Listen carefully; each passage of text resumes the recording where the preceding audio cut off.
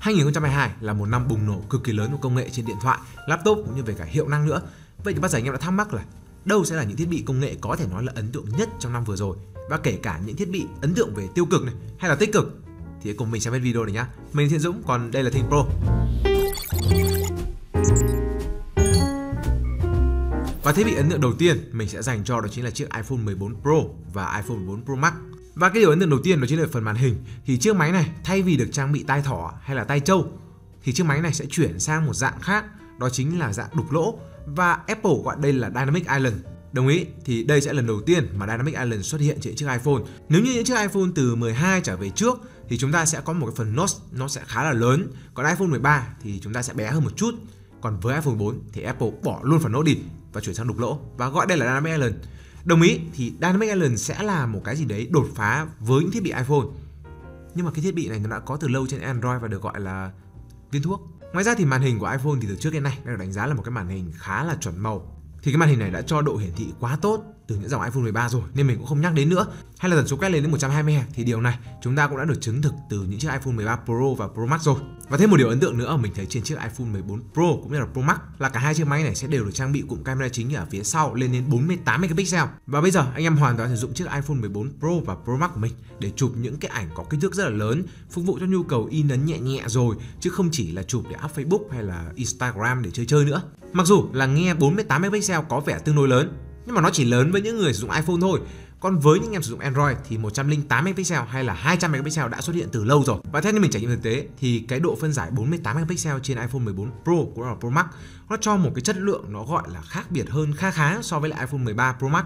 Ngoài ra thì cam của iPhone 14 Pro và Pro Max còn được trang bị thêm một tính năng nữa, đó chính là Action Mode.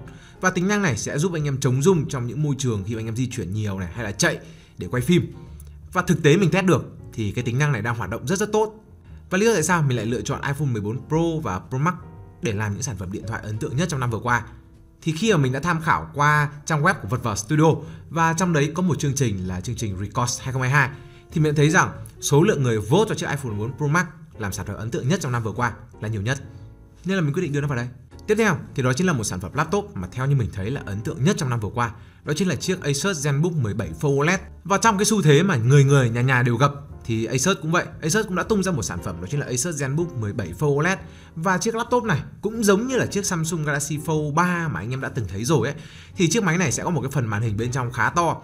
Và cụ thể là với chiếc laptop này sẽ là 17 inch.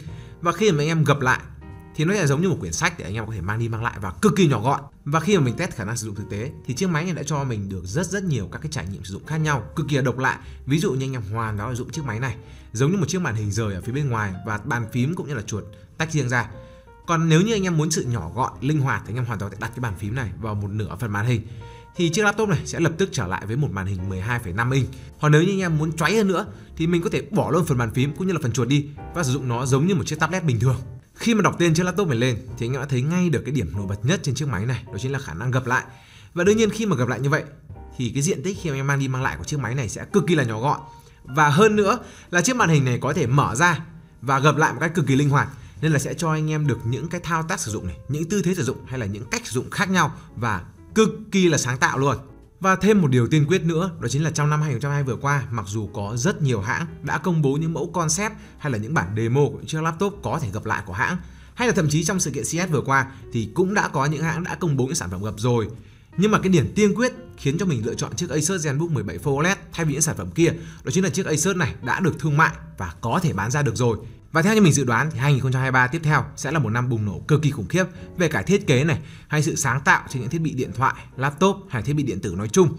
Và tương lai thì những thiết bị mà anh em thấy được ở trên những bộ phim khoa học viễn tưởng sẽ được sử dụng thực tế và tương lai đấy sẽ không còn xa nữa đâu. Và nếu những thiết bị ở phía bên trên thì mình đã đánh giá theo một cái hướng nó khá là tích cực thì bây giờ ta sẽ đến một thiết bị mà nó sẽ không được tích cực cho lắm. Đó chính là chiếc iPad Gen 10 cũng là một thiết bị đến nhà Apple luôn. Và ngay đầu tiên thì mình sẽ nói đến những ưu điểm được nâng cấp trên chiếc iPad Gen 10 này. Thì đây là lần đầu tiên mà Apple mang đến kiểu thiết kế mới tràn viên hơn và không sử dụng nút home nữa trên những dòng iPad giá rẻ. Ở tí kiểu thiết kế này nó cũng không mới lắm. Nó cũng đã được xuất hiện trên những chiếc iPad Pro đời 2018 rồi. Nhưng mà nếu như xét với những chiếc iPad giá rẻ từ kiểu Gen 8, Gen 9, Gen 10 cho học sinh sinh viên ấy thì đây là lần đầu tiên mà Apple mang đến những kiểu thiết kế này. Và như anh em thấy ngay thì chúng ta sẽ có một cái màn hình tràn viền hơn, không sử dụng phím home vật lý nữa. Và thay vào đó chúng ta vẫn sẽ sử dụng cảm biến vân tay, nhưng cảm biến vân tay lúc này sẽ được tích hợp vào nút nguồn và được đặt ở phía cạnh bên trên. Và tiếp theo là máy sẽ cung cấp cho anh em vô cùng nhiều các tùy chọn màu sắc khác nhau, nhìn thì cực kỳ là trẻ trung và năng động đấy. Và một nâng cấp nữa cũng cực kỳ đáng giá với những chiếc iPad giá rẻ, đó chính là lần đầu tiên mà Apple thay thế cổng Lightning thành cổng Type-C trên những chiếc iPad giá rẻ này. Và đương nhiên là cái việc mà Apple chuyển sang dùng cổng sạc Type-C này sẽ giúp cho chiếc máy này có thể có một cái khả năng truyền dữ liệu nhanh hơn và có khả năng tương thích với nhiều loại sạc hơn. Nhưng mà cái vấn đề nó không dừng lại đấy, đó chính là mặc dù là cái cổng sạc này sẽ được trang bị là Type-C nhưng mà lại chỉ hỗ trợ bút Apple Pencil thế hệ 1. Mà bút Apple Pencil thế hệ 1 đấy, nó dùng cổng sạc Lightning và Apple đã cho ra một chương trình khuyến mãi cực kỳ là uy tín và tâm lý với người dùng Đó chính là khi mà anh em mua một cái con iPad Gen 10 Cộng với lại một bút Apple Pencil thế hệ 1 thì Apple sẽ tặng ngay một cái hub để kết nối cũng như là để sạc cho cái bút này Anh em thấy tâm lý không? Và Apple cũng đã đưa ra động thái để giải thích cho điều này đó chính là cái cụm camera trước đã được Apple chuyển từ cạnh trên sang cạnh ngang và đương nhiên, cái vị trí cạnh ngang này, nó sẽ là vị trí mà đặt sạc không dây của chiếc bút Apple Pencil thế hệ 2 nên là Apple không thể trang bị Apple Pencil thế hệ 2 vào đây được, nên buộc phải chuyển sang dùng Pencil thế hệ 1. Đương nhiên là cái việc mà Apple chuyển cái cam trước từ cạnh trên sang cạnh ngang là có tác dụng và có những ưu điểm cụ thể của nó. Nhưng mà mình sẽ không quan tâm đến cái cam trước này nhiều, mà mình sẽ quan tâm đến việc là bút Apple Pencil được trang bị trên chiếc iPad Gen 10 chỉ là Apple Pencil thế hệ 1 thôi. Và đây sẽ là một điều mình cảm thấy rất là quan tâm. Và một điểm khá là khó hiểu cuối cùng đó chính là phần mức giá. Nếu như anh em có theo dõi thì những chiếc iPad giá rẻ cho học sinh và sinh viên như là iPad Gen 8 hay là iPad Gen 9 thì sẽ đều đồng loạt có mức giá là dưới 10 triệu. Nhưng mà với chiếc iPad Gen 10 này thì khi mà mình tham khảo qua một vài trang web của các shop uy tín ấy, thì mình thấy rằng mức giá của em nó sẽ chạm vào khoảng hơn 10 triệu một chút.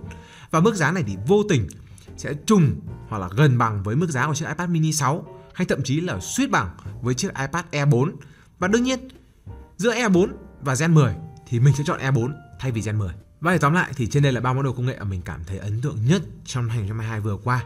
Và đương nhiên cái điểm ấn tượng này có cả ấn tượng theo hướng tích cực và có cả ấn tượng theo cái hướng nó cũng không được tích cực lắm. Và ý kiến của anh em như thế nào? Hay là mình có bỏ quên món đồ công nghệ nào thực sự ấn tượng? Hãy comment phía dưới cho mình biết nhé. Và cũng đừng quên để lại một like cũng subscribe cho Think Pro để ủng hộ chúng mình. Còn bây giờ, chúc mừng năm mới anh em. Bye bye.